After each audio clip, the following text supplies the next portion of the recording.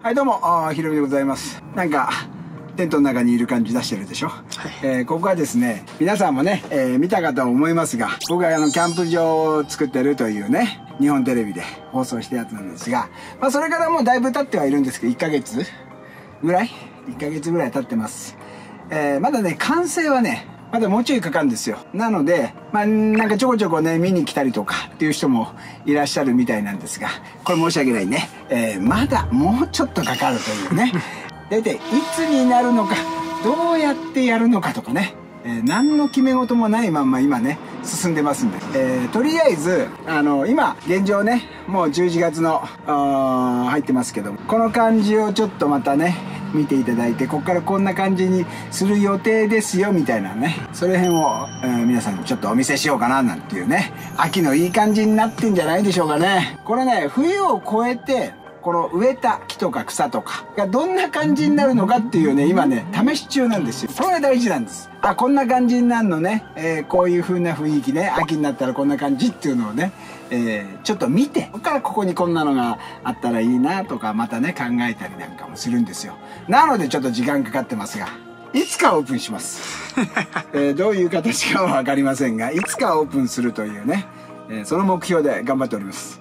ちょっとね、表、あの、あの時はもうね、まだあの、暖かかったですからね、9月ぐらいでしたからね。まあちょっとこう、葉っぱなんかもわさわさしてましたけど、もうね、もういい感じになってますんで、ちょっとお見せしながら、あこここんな感じにしていこうかな、みたいなのもやってきますんで、えーお教えしますんで。ね、じゃあちょっと行きましょう。はいはいはいはい。どうですか、この、ちょっとね、紅葉が。もう始まってますね。いい感じでしょ？はい。この落ち葉も。落ち葉とこ秋れがね落ち葉がこれ全部落ちるからね。わこれ全部落ちてもうここがもう一面この落ち葉だらけになってね。はあ。秋ですね。秋だね。秋感じますね。いいですよ。いい感じですよ。これもみじですね。これもみじ。ほとんどもみじ。わあじゃあすごいわ。桜なんかもあるけどね、はえーだから常緑とそれから落葉があるんで、いはいは落葉はこう全部落ちるしでこの辺の草もねここから冬場どうなるのかっていうのをねおじさん見てるわけですよ、なるほど。これがねこの赤さこの赤赤の感じ、めっちゃ赤いですね。めっちゃ赤いでしょ、はこの感じとかあ秋はこんな感じなのね。っていうのを確認し確認しておりますから。あのもしね来ることがあった場合うわここいいなとか。でこちら。えーちょっとまあゴーストタウンみたいになってますが なくなってますねあのはい。放送の時にあったやつが。放送の時にあったあの豪華な家具。あれは一回撤収してもらいました。ああ。れは一回撤収して、えーまた考えようと。ほんでこの辺の草草絡みね。これ辺はねあ。あの一回これ全部刈るから。あ狩るんですかこれを。もうもうちょっとだったら全部刈って、うんでまた春になるとまた出て。そのために全部こう刈ります。えね芝生もこれ色変わるんですか？これは変わる。あ変わるんだ。また緑に。また緑。にあだからその辺がね素晴らしい。自然の素晴らしさ、ね、これを全部こう切って、あはいはい。まあその動画も上げますけどこれ一回全部バサバサあの根元から取ってそれがまた春になると出るっていうね。もうそんなもう、ね、感動的な動画。まあここはまあ用途としてはまあね放送でもやってましたけどバーベキューエリアにするのか、なんかちょっとその辺はねまだまだ考えどころですよ。でもまあこんな感じで気持ちもいいからね。でも今はこんな状態。ちょっとねうん。ゴーストタウン。ゴーストタウンね。うん。経営に失敗した感じの。出てますね。出てるね。出てる。でもね大丈夫なんです。誰かねやりたいっていうのがいれば。問題ない。それでこっち側ねまあこの辺のね草もこう全部葉っぱも落ちるでしょうから、はいはいはい。いいじゃない。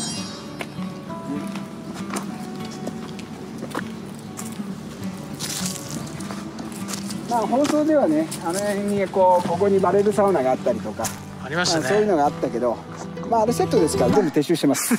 こっちも、ええ。はい、なんか閉鎖前のキャンプ場みたいなんです。そうなんですそうね。でもこっからだから、こっから。こっから。あのー、一旦一旦こんな感じっていうのに作ってみて、はでまあここでキャンプするのかうん。何するのかっていうのはちょっと考えて。あまりこう目線が合わないようにっていうのをやったけどもうちょっともうちょい植えてもいいかなとか。あそういうのを確認しながら俺なんかやってるから。確認。見てこれ。アベンジャーズがまたね。あまた。うちのアベンジャーズが。ここあのまあエリア的にはうんどうするかってまあキャンプここキャンプエリアにするのか移動式のトレーラーの小屋あの置いてカフェみたいのにするのかお茶飲めるところにするのか。誰が飲むんだって話 そういうのもあったりねまだいまだにねこういう作業を、ね、アベンジャーズ武藤ね。アベンジャーズ武藤。お疲れ様です。まあこの辺はねまあどういうエリアになるかまあでも見てこのこの景色このこの秋のこの感じ。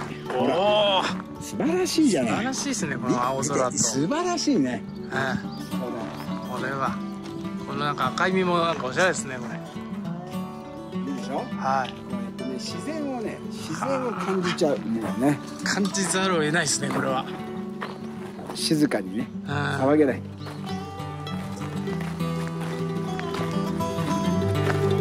だからなんだキャンプ場作るっつってキャンプエリアがあんまりないっていうね。そういう状況なんですよ。がしかしですよ。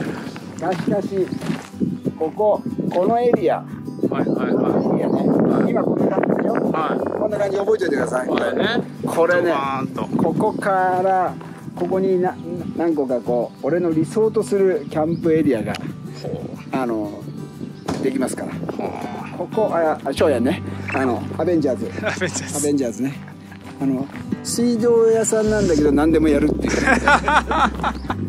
ここのエリアをこの冬になる前にやるからここをねあもう年内に。年内にやるから。おおあの木山ほど植えるから。はで木植えてあは中にキャンプやるっていうね。俺はそれがしたいんだから。なんだけどあの放送ではこっちのあの前のとこまでしかお見せできなかったのでえどこでこれキャンプするのって思った方もいるかと思いますが本当はここなんですよ。あこっちがメイン本当はねなんですね。こっちを放送すべきなんだよね。なるほど。これ YouTube でお届けしますんで。あのちょこちょこ YouTube を気にしていただければ。もうここはもう作り物はないです。もう木と草とか植えて雰囲気。ここ見てて変わるから。へえ。もう本当にただのね敷地ですもんねそう。今はね。どうでしょ？うはこれがねいい感じにあの変わるから。いはこれこれをやりたかったの。俺は。なんでこっち側だけでね。まあまあまあそれはいろいろあるんですけどこんなだからここのエリアがまあキャンプエリア。いへえ。にしようかと思ってるんだよね。はだからそれをどういう形がいいのかっていうね。いうん。あのよくある車も入れてとか。はいで車入れんとどうなんだとか。うん。まあその辺のところも考えながらね。このエリアもあのちょっとキャンプできるように。であのは小屋ね、はい。小屋あのまあ放送でも俺が立ってたあはいは屋あそこだけはねちょっとあったかいっていうね。小屋があるから。っていうようなのが1個ありますが、まあ、この上はちょっとそうね VIP かな、うん、VIP か。VIP ですね。ねちょっとね。はい。まあ、こっちのエリアでこのエリアぐらいまでをこううまいこと仕上げてそれを皆さんね、えーまあ本当に早くオープンして何かしないと会社倒産する可能性あるから。ねこれ冗談抜きで。運営しないと。運営しないと倒産の危機。ヒロミ倒産の危機。やばいですね。やばいんだよなのでちょっとその辺は考えていきますが。ねまたその辺はちょっとねおいおいおいおい YouTube でもねお見せしますが。完成したら完成したでお見せしますが。川口湖はもう春4月ぐらいだったらキャンプできる気候ですか？でもそれはキャンプなんていうのはお前いつだっていいんだよ。こっから見てほら川口湖も綺麗にこうやって見えるじゃない。ね。はい。こうやって。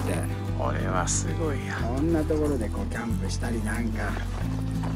するっていうのもありかもしんないね、うん、これ贅沢ですね湖眺めながらね。だから普通のキャンプ場って多分結構もう密集してるから、うん、隣同士もう本当にテントお隣さんがもう近いんだけど、まあ、ちょっと俺は話したいというかあんま目線が合わないようにこうしたいっていうのがもともとだからまあそんな感じのやつになると思いますよ。いいですねこれ。ということですね、えー、今回はですねあのキャンプ場がどうなったかっていう途中経過まだまだねあんまり進んではいませんが、えー、ここからねバンバン進んでちょっと寒くなる前凍る前にそこそこのことを木植えたりとかっていうのをなるべく終わらしてっていう感じになるのでまああのまたお見せしますがそんな感じでここのキャンプ場今の状況こんな感じです。